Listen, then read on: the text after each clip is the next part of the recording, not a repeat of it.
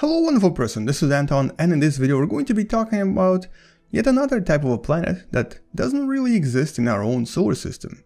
You're looking at one such planet right here. These are called the Poofy planets. Let's talk about this and welcome to What Da Math.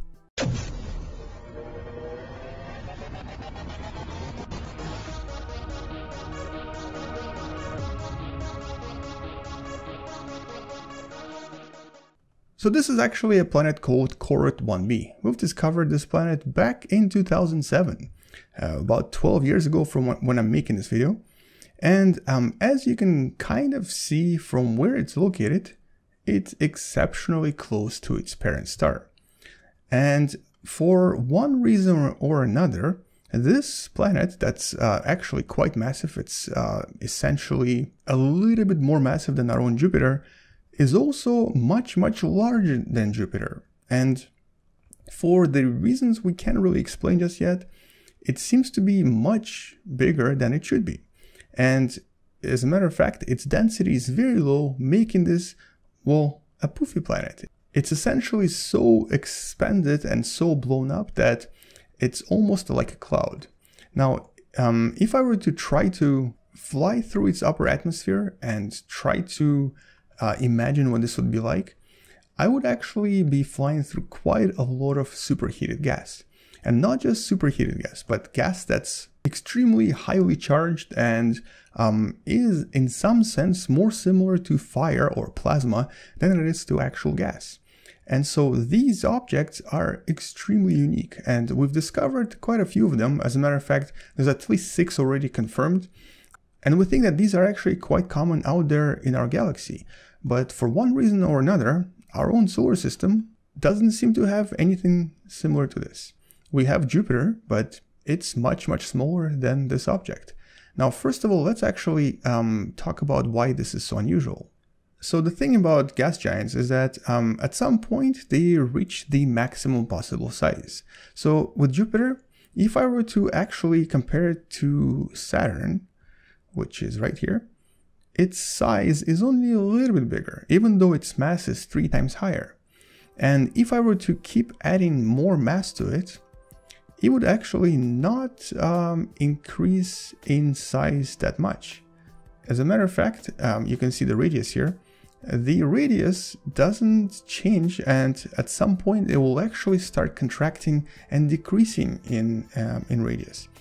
So for this reason, we're not entirely sure what's happening with uh, these uh, poofy planets. So like for example, an object that's about four masses of Jupiter is actually smaller uh, in size than Jupiter. So Jupiter, our own Jupiter in comparison, is actually a little bit bigger in size. How is it that we've actually been uh, finding planets that are more massive than Jupiter and are dramatically bigger? Like we're talking several times uh, the size of Jupiter, way, way, way bigger and also a lot less dense, even less dense than the least dense object in our own solar system, which is Saturn. And so to answer this question, we, uh, or I guess the scientists, decided to see what would actually happen to the gases when they are so close to the actual star. And what they think is happening here is that because of the actual heat and because of the amount of solar radiation uh, the upper atmosphere of this um, gas giant is receiving, a lot of the particles that are part of the atmosphere start being supercharged. They actually get um, very, very electrically charged and start interacting with one another. And this basically creates a very unusual effect where the atmosphere starts poofing up and expanding way more than it should. And so the reason this planet is so poofed up is not just because of the heat, but also because of the highly charged atmosphere. Very, very highly charged, like to the point where everything here is probably a large electrical storm.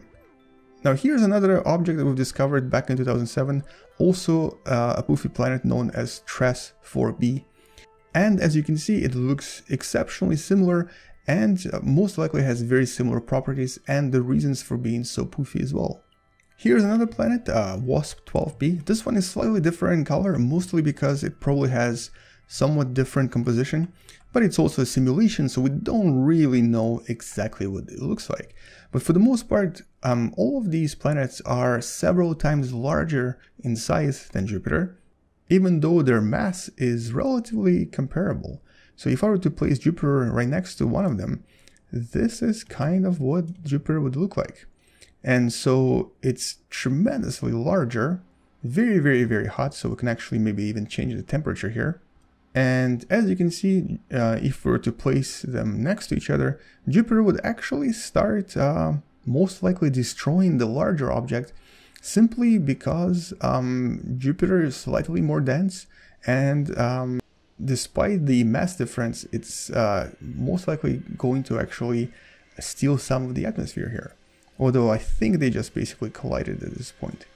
So uh, these poofy planets are very mysterious. We still don't really know why they're so, um, well, low in density essentially. They're kind of like big cloudy objects. And we think that it's um, possibly because of this highly charged atmosphere that doesn't exist anywhere else in the solar system and um, only exists when those really large planets are very, very close to their parent star, like you see right here. So at this distance, uh, the amount of actual electrical energy generated in the atmosphere of these planets is probably tremendous.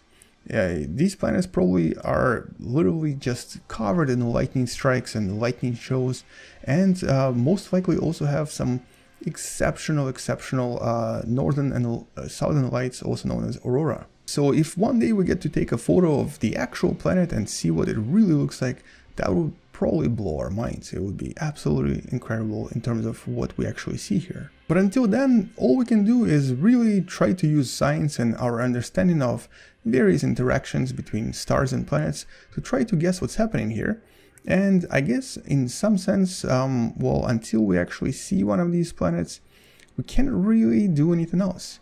We also need to try to understand why our solar system doesn't have any of these, and why some solar systems or some star systems seem to have quite a lot. On that note, that's all I wanted to show you in this video. I wanted to briefly talk about the poofy planets, yet another type of unusual planets that don't really exist in our solar system. Hopefully you'll learn a little bit more about the universe, space and uh, sciences from this video and if you did, don't forget to subscribe, share this video with someone who enjoys learning about various scientific concepts and come back tomorrow to learn something else and maybe even support this channel on Patreon because it does help me quite a lot.